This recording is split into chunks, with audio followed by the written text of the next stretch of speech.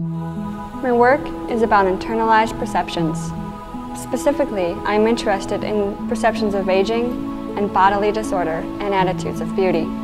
I have been exploring this through drawings that juxtapose cellular degeneration and disease in couture fashion and installations using materials such as plastic sheeting to create pieces that evoke an overwhelming, gluttonous, ugly beauty.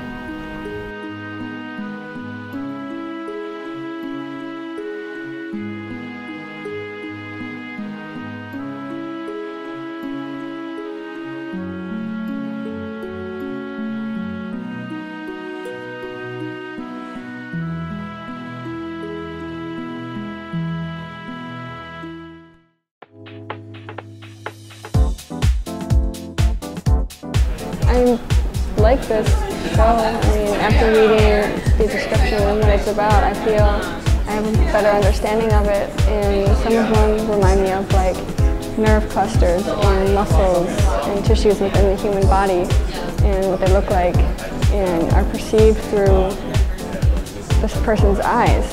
And then I come over to this big one and just something that's like torn and like mixed the artwork, like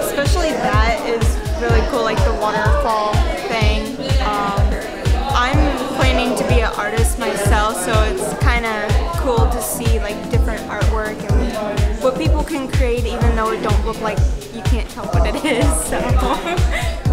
I definitely like how she used um, different colors to tie in for each piece. I think it's full of paradoxes. and It's really interesting because um, it's full of mineral density, and uh, there's a l- like a lot more feels organic. I don't know, especially the title piece. I think is the one that feels the most organic.